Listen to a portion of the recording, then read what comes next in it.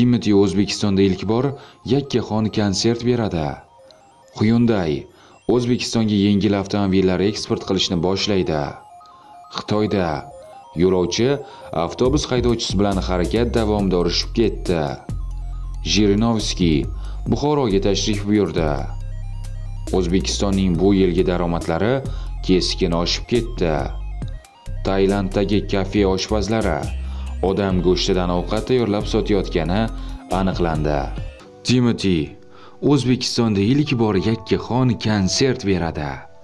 Timoti Toshkentda yakkaxon konsert dasturini taqdim etadi. Konsert 27 noyabr kuni Karting Center anhor Lokomotiv parkda bo'lib o'tadi. Dastur tashkilotchilarining ushbu shou yorqin tarzda o'tishiga ishonchlari komil. Timothy o'zining hit qo'shiqlari Lada Sedan Baklajan, Ключи от рая, Где ты, где я, Я буду jdatni ijro etishi kutilmoqda. O'zbekistonda Timothy san'atining muxlislari bisyor. Bunga uning Instagram ijtimoiy tarmoqdagi obunachilarini misol qilib keltirish mumkin. Timothyning Instagram sahifasiga 500 mingga yaqin o'zbekistonliklar obuna bo'lishgan. Va ijodini kuzatib borishadi. Oldinroq kuz oylarida Timoti Toshkent markazida Black Star Burger restoran tarmog'ini ochishi ma'lum qilingandi. Hyundai O'zbekistonga yengil avtomobillar eksport qilishni boshlaydi. Janubiy koreyalik Hyundai Motor Company O'zbekiston bozoriga chiqmoqchi. Bu rejalar haqida Hyundai Avto Qozog'iston direktori Denis Kalamatskiy ma'lum qildi. Kompaniya yaqinda O'zbekistonda yengil texnika distribyutor bo'ldi. Kompaniya O'zbekistonda ishlab chiqaruvchi emas, balki distribyutor bo'lish sababli dastlabki bosqichda Qozog'istonda yig'ilgan avtomobillar sotilmaydi. Ammo bu borada muzokaralar davom etyapti. Kalamatskiy Kursiv nashriga bergan intervyusida O'zbekistonda siyosiy va iqtisodiy o'zgarishlar O'zbekiston Respublikasida siyosiy va iqtisodiy o'zgarishlar boshlangani tufayli u yerga eng yirik kompaniyalar kirib kelmoqda. Hyundai Motor Company ham ushbu yangi va istiqbolli bozorga kirish istagini bildirdi va Astana Motorsga mintaqaviy distribyutor bo'lishni taklif qildi. Biz ham ushbu mintaqada salohiyatni ko'ryapmiz va Hyundai Motor Company taklifini mamnuniyat bilan qabul qildik dedi Kalamatskiy.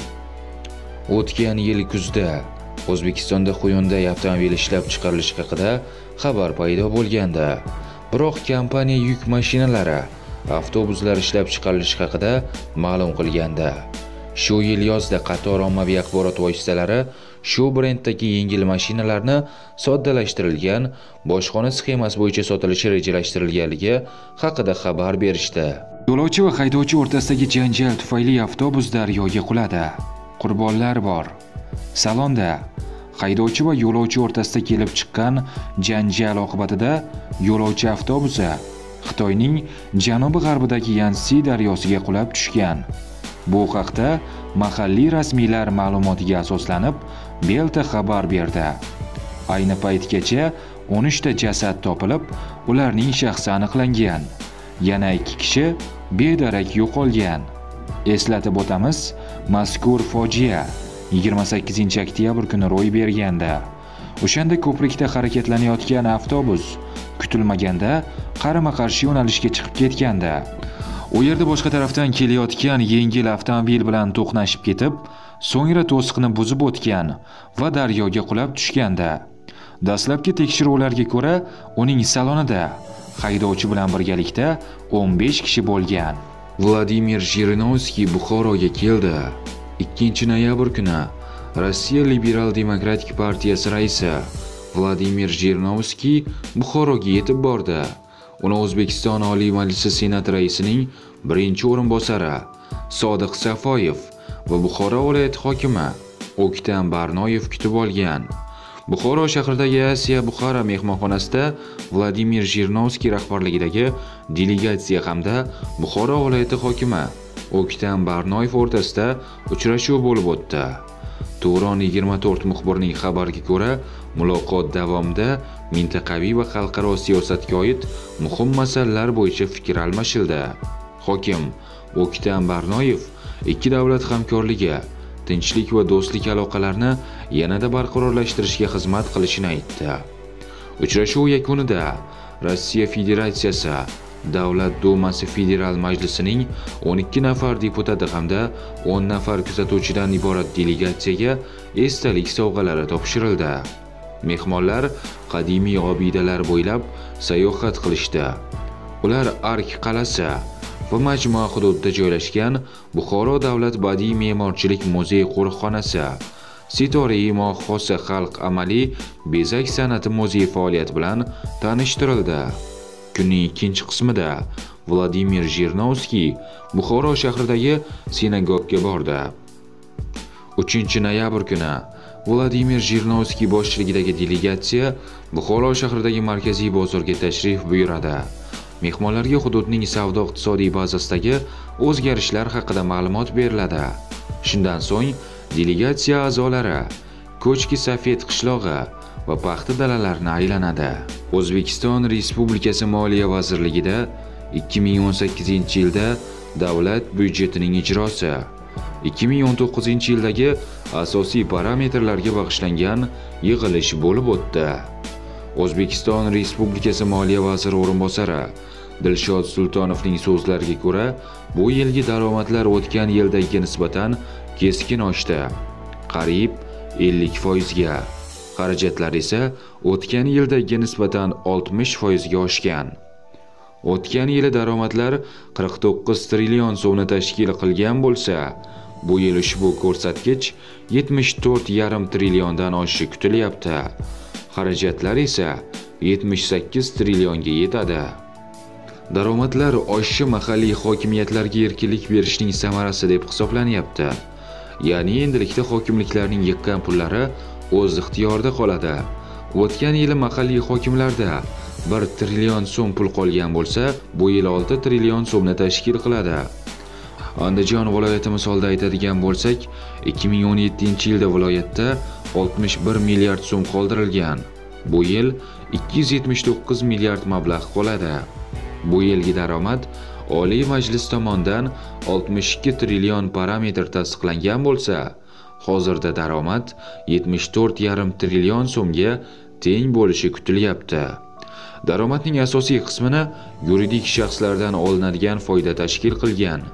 Ikkinchi manba qo'shilgan qiymat solig'i va uchinchi resurs soliqlar bo'lgan. Tailanddagi kafe oshpazlari odam go'shtidan ovqat tayyorlab sotayotgani aniqlandi. Yaqinda Tailanddagi vegetarianlar kafesiga tashrif buyurgan mijozlar ovqat ichida go'sht borligidan shikoyat qila boshlashdi.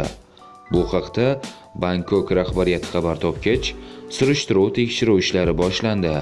Bu amallar shunga olib keldiki, kafedagilar vegetarianlar ovqatiga nafaqat go'sht solishgan.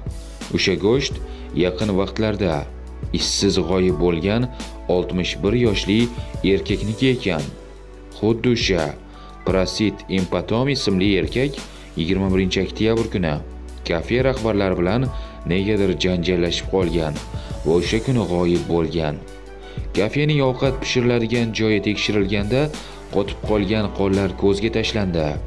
Ekspertiza bu qonlar odamniki ekanini ko'rsatib berdi. U odam esa 61 yoshli erkak bo'lib chiqdi. Kafe rahbariyati uni o'ldirib, tanasini bo'laklab, vegetarian mijozlar taomiga solib pishirayotgan ekan. Politsiyachilarning aytishicha, qotillikda gumon qilingan shaxs qochib ketgan. Uni qidirishmoqda.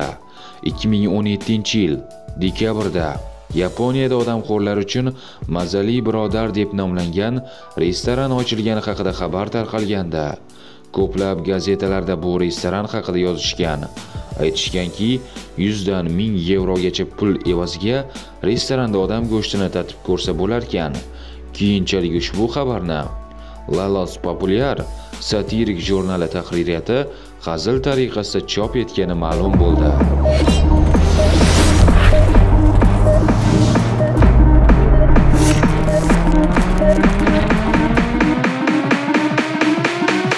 Rossiya bo'yicha eng arzon hamda sifatli telefonlar va ularga oid narxlar bilan esa abusahi.ru saytida tanishishingiz mumkin. Rossiyaning barcha shaharlariga esa pochta orqali dastlabki qilib beriladi. Manzil va magazinning rasmiy saytini ekraningizda ko'rib turibsiz. Shuningdek, video ostida ham topishingiz mumkin. Abu Sahi magazini ishonchli tanlovingiz garovi.